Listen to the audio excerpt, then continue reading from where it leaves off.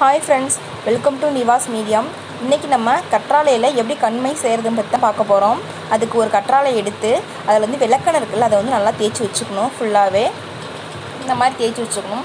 தேய்ச்சி வச்சுட்டு பக்கத்தில் நல்லெண்ணெய் ஊற்றி விளக்கு பொருத்தி வச்சுருக்கணும். நல்லெண்ணெய் தான் அதுக்கு வந்து நல்லெண்ணெய் ஊற்றி விளக்கு பொருத்தி வச்சுருக்கணும். இந்த கற்றாழையில் வந்து விளக்கெண்ணெய் ஊற்றிருக்கணும் பார்த்துக்குங்க ரெண்டுத்தையும் மாற்றி செஞ்சிடாதீங்க. ஊற்றிட்டு அதில் வந்து இந்த கற்றாழையை வந்து நல்லா வாட்டணும்.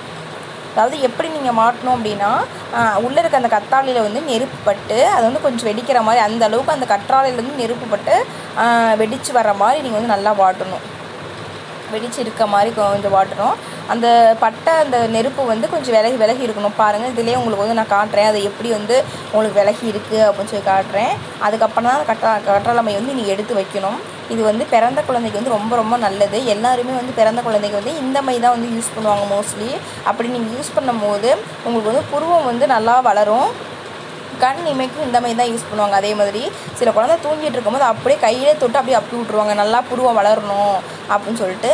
இது நீங்கள் வந்து கண்ணுக்கு வந்து உங்களுக்கு தடவும் போது கண்ணில் வந்து இந்த ப்ளூ ஒட்டு அப்படின்னு சொல்லுவாங்க. அந்த மாதிரி வந்து உங்களுக்கு வந்து வராது. இது வந்து ரொம்ப ரொம்ப நல்லது. சில பேருக்கு புருவமே இருக்காது. இப்போ பிறந்த குழந்தைக்கெலாம் ஆனால் இந்த இந்த மாதிரி செஞ்ச அந்த குழந்தைக்கு வந்து மை வைக்கும்போது புருவம் வந்து நல்லா வளரும். பாருங்கள் உங்களுக்கு வந்து இந்த மாதிரி இருக்கும். கீழே பாருங்களா இந்த மாதிரி வெடிச்சிருக்கும் பார்த்தீங்களா இந்த மாதிரி இருக்கும் லைட்டாக இருக்கும். உங்களுக்கு உங்களை உங்களுக்கு வந்து உங்களுக்கு செய்யும்போது உங்களுக்கே தெரியும். அது மாதிரி நல்லா வாட்டணும். வாட்டிக்கிட்டு சின்ன ஒரு பவுலில் எடுத்து அந்த இந்த மாதிரி நீங்கள் எடுத்து வச்சுக்கணும். இந்த மாதிரி கண்மையை எடுத்து வச்சுட்டு நீங்கள் ஒன்ஸ் எப்படிமா எடுத்து வச்சிட்டிங்கன்னா போதும். இது வந்து கெட்டலாம் ஒன்றும் போகாது. இது வந்து க எவ்வளோ இருக்கோ அதுக்கு தகுந்த மாதிரி நீங்கள் ஒன் வீக்குக்கோ இல்லை நிறையா எடுத்து வச்சிட்டிங்கன்னா ஒன் மந்த் பக்கம் கூட இதை வந்து நீங்கள் யூஸ் பண்ணலாம். இது வந்து ரொம்ப ரொம்ப நல்லது. நீங்கள் வந்து இப்போ இப்போ பிறந்த குழந்தையா இருக்குது ஒரு பெண் குழந்தையா இருக்குது அப்படின்னா அதுக்கு வந்து சேஃபாகவே நீங்கள் வந்து இப்போ கண்மை க கண்ணில் வந்து புருவத்துக்கு நீங்கள் வரைஞ்சிட்டிங்கன்னா அவங்களுக்கு வந்து ஐப்ரோ வந்து ப்ளக் பண்ணணும் அவசியமே கிடையாது. ப்ளக் பண்ண மாதிரி அழகாக உங்களுக்கு வந்து வரைஞ்சிருக்கும். நீங்கள் எப்படி வரைஞ்சிங்களோ அதே மாதிரி அழகாக வந்து உங்களுக்கு வந்து அந்த பிருவம் வந்து வளர்ந்துருக்கும்.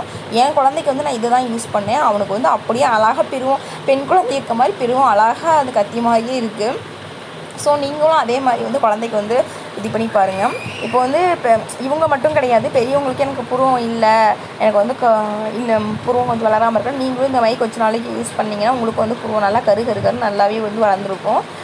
கண்ணுக்கு புருவத்துக்கு அதெல்லாம் சொல்லிட்டு குழந்தைய வந்து இதை வந்து இதே தான் வந்து நிறைய பேர் வந்து அடிக்கடி வந்து யூஸ் பண்ணிட்டே இருக்காங்க.